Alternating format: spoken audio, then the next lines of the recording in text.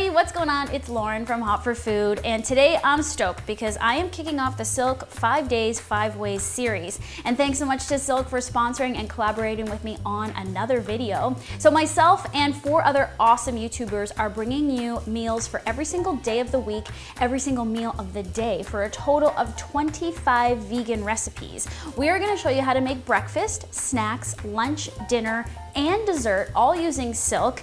And that is a ton of recipes. So you are gonna have meals planned for the entire week. How cool is that? I am kicking things off with five easy vegan breakfast recipes. And these are all easily prepped ahead of time and you can take them to school or work because we're gonna make them in jars. And I'm gonna use a variety of the silk product line so you can see the versatility of these products. So I'm gonna show you how to make cherry pie overnight oats, pina colada chia pudding, cultured coconut berry parfaits, banana hazelnut breakfast bread pudding, and a easy tofu scramble souffle. So let's kick things off with the cherry pie overnight oats. So you're gonna take a cup of rolled oats, add them to a bowl, add some coconut sugar, cinnamon, and just a pinch of sea salt. Give it a quick stir to combine it. Now add a cup of silk almond unsweetened, which has as much calcium as dairy milk, FYI. Give it a stir and set this aside. Uh, you're just gonna basically now prepare your fruit and your pecans and then you're just gonna layer everything in jars and put them in the fridge overnight and then they're ready to go in the morning. So take about one quarter cup of the oatmeal mixture and place it in the bottom of your jars. Now add a layer of pecans and reserve a small amount for the topping when you wanna eat it. You can add a little drizzle of maple syrup if you like, but it's optional. You'll also reserve some cherries for the topping as well. So the reason you leave these overnight is so that the oats can get soft without actually cooking them. So I have two that are already set and ready to go. And then in the morning when you want to eat this, I would top it with some granola to give it some extra crunch, some more pecans and some more fresh cherries, and another drizzle of maple syrup if you like.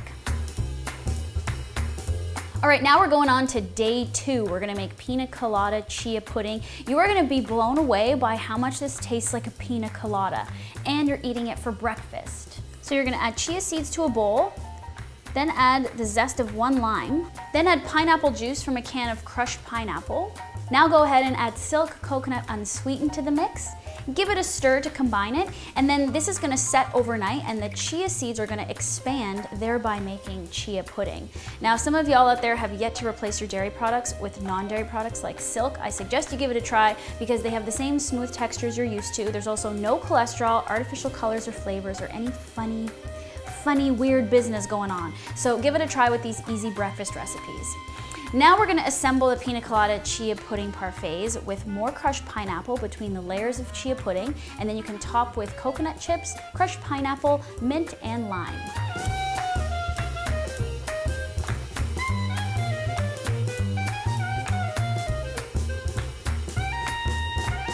Day three is super easy. We're gonna make cultured coconut berry parfaits. So all you're gonna do is mix berries with some lemon zest and maple syrup, and those are gonna give them some extra zing. Then you're gonna layer your parfaits with silk cultured coconut, unsweetened vanilla. So this actually has the same tang as yogurt. It's really delicious, but it has hardly any sugar since it's unsweetened. And a lot of the yogurts you're probably buying in the store right now are super sugary and indulgent. They're basically like a dessert.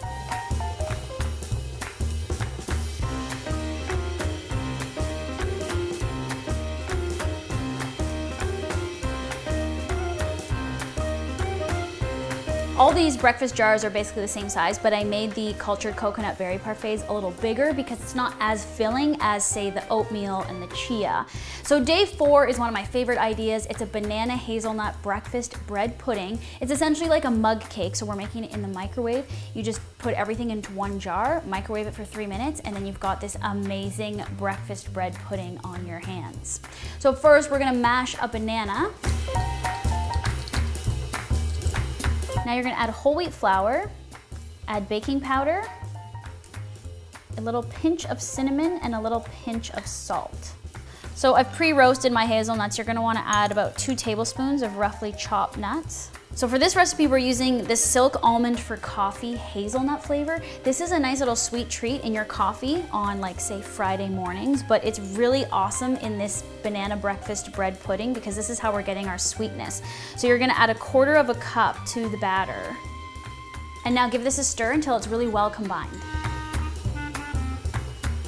It's actually good if you do this in a clear jar like this so you can see that you've mixed everything together. Now you're gonna microwave this for about three minutes until it's cooked all the way through. And now it's very hot, so just be careful. This is the fun part. Okay, so you're gonna poke the bread pudding with a fork, and to give it the bread pudding effect, you're gonna drizzle a little bit more of the Silk Almond for Coffee hazelnut flavor over top, and it's gonna soak in there and make it nice and tasty. We're also just gonna garnish with a little bit of the cultured coconut on top and some more roasted hazelnuts. All right, day five is our savory idea. It's a tofu scramble souffle. Of course, if you watch Hot for Food regularly, you know we love our tofu scramble for brunch and breakfast, but now I'm gonna show you a really easy way to make it in a jar and microwave it super fast so you can take it to go in the mornings. So you're gonna start with half a cup of crumbled tofu. You're gonna add cornstarch, and a little bit of nutritional yeast. And then you're gonna add just pinches of turmeric, chili powder, garlic powder, salt, and pepper. Now add silk almond unsweetened. And then I'm gonna add green pepper and green onion. All right, so you can actually prep this the night before, leave it in the fridge, and then in the morning, microwave it for three minutes. So out of the microwave, it's gonna look a little liquidy, but just give it a stir, and then all that sauce will nicely coat the tofu.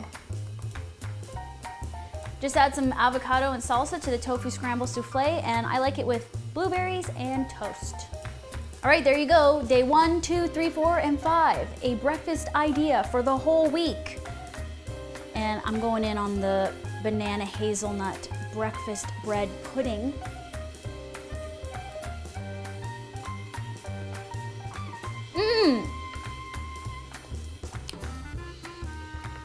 Oh my God. You guys are gonna love that one. It's like just a hint of sweetness for breakfast. It's not overpowering. The tofu scramble one is nice. I'm glad we have a savory idea in here. Mmm. Aren't you so excited that now you can make tofu scramble in the microwave? Oh my God. Mmm.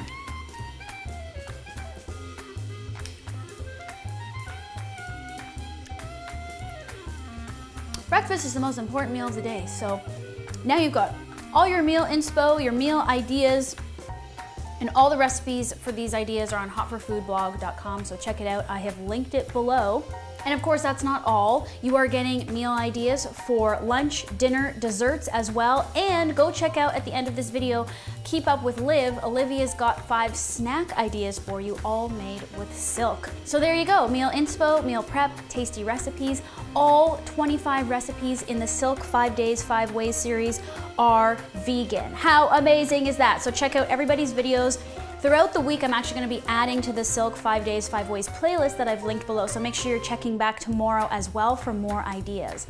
Okay, if you make any of these things, would love to see your photos, tag us at Hot for Food on social media, and of course, subscribe here. There is a little button below in the corner to subscribe to Hot for Food on YouTube because I am here every single Wednesday. Okay, I got a lot of breakfasts to eat, and luckily I can't eat them all right now, so I can just put them back in the fridge and save them for tomorrow.